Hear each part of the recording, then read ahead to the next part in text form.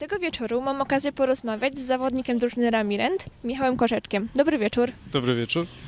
Tego wieczoru rozegraliście mecz z drużyną Vattenfall IT, z którą sąsiadujecie w tabeli. Jakie były wasze założenia przed dzisiejszym meczem?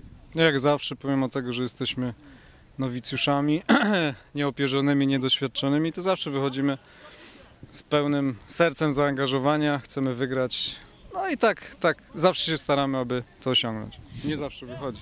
Mieliście, Rzadko wychodzi. mieliście dzisiaj okazję, przegraliście tylko jedną bramką. Co się stało? Czego zabrakło?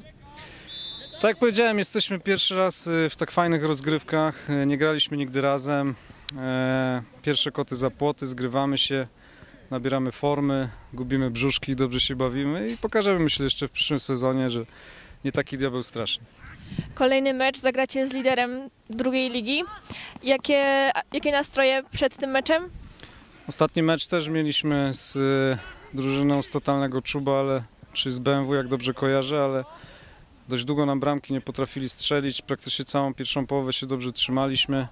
Dopiero w drugiej się wysypało, także nastawimy się jak zawsze, aby dać siebie wszystko, aby się nie poddać i, i powalczymy. W kolejnym sezonie będziecie walczyć jakieś wyższe lokaty? No, to zależy, jak prezesi nam kasy dają. Nie, żartuję oczywiście. Em, tak, na pewno, na pewno będziemy chcieli poprawić swoją lokatę, e, lepiej się zaprezentować, wykorzystać to doświadczenie, które nabieramy w tej rundzie pierwszej dla nas.